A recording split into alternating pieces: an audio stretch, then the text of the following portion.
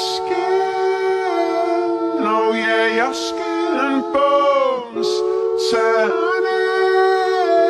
into something beautiful.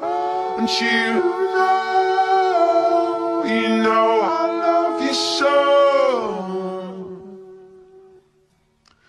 You know I love you so.